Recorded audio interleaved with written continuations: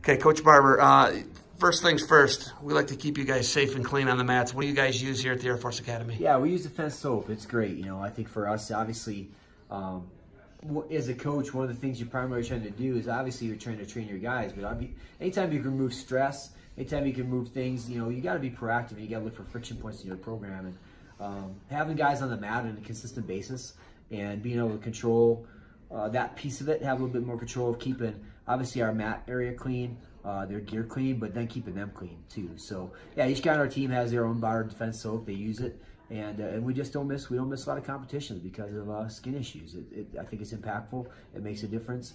Um, the proof is there that when we started using this product on a regular basis, we had less guys miss competition and uh, practice opportunities. So it's been great for us.